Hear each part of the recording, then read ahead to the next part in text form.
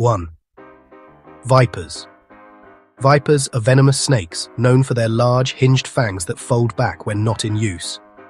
When they strike, they swing those fangs forward to inject venom deeply and quickly.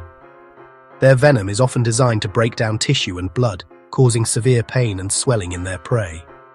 Vipers usually have triangular shaped heads and heat sensing pits that help them locate warm blooded animals in the dark. They generally don't chase prey, instead, they rely on camouflage and ambush hunting.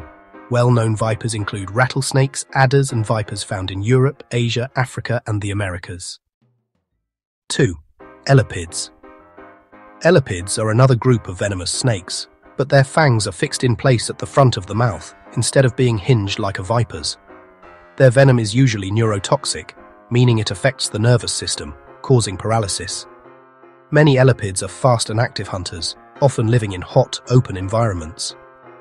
They typically have smooth, slender bodies and round heads. Famous elapids include cobras, mambas, kraits, coral snakes, and sea snakes. Their bites can be extremely dangerous to humans, but most elapids prefer to avoid conflict and will warn or escape if given the chance. 3. Constrictors.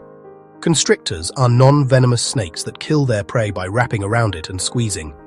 Instead of crushing bones, their pressure cuts off blood flow, causing quick unconsciousness. They rely on strong muscles and typically hunt animals like birds, rodents, or small mammals. Constrictors vary greatly in size. Some are small enough to fit in your hand, while others, like anacondas and pythons, can reach over 20 feet long. They usually have slower metabolisms and may go days or weeks between meals.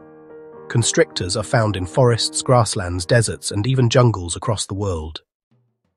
4. Colubrids, mostly harmless. Colubrids are the largest and most diverse group of snakes, including many that people commonly see. Most are not dangerous to humans and are non-venomous, or only mildly venomous with rear fangs that don't deliver venom efficiently. Instead of squeezing or using strong venom, they usually grab and swallow prey whole. Colubrids come in many shapes and sizes, from small garden snakes to large rat snakes. They often eat insects, frogs, and small rodents, helping control pests. Examples include garter snakes, king snakes, rat snakes, and many common wild snakes people encounter outdoors. If you enjoyed this, please like and subscribe for more.